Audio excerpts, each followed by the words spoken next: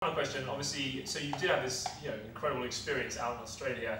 Um, what were some of the what were some of the funnest moments um, offset when you've got a chance to sort of rap, like you said, sort of. Uh, we had some pretty funny times. We, we had some good times. We used to go to a place called the, called the Goldfish Bowl in uh, in in the in the in the Cross in Sydney, and um, I remember thinking it was incredible how people would uh, would go there. Now I used to see arms hanging out of the bars. It, and, uh, it is bizarre. It's it like is a- bizarre. uh, it's- if you've ever been there, it's We'd be going to work we'd at be like going to work in and the there's morning. people and like people- hanging like, like it looked like it looked like Belsen in there. You know?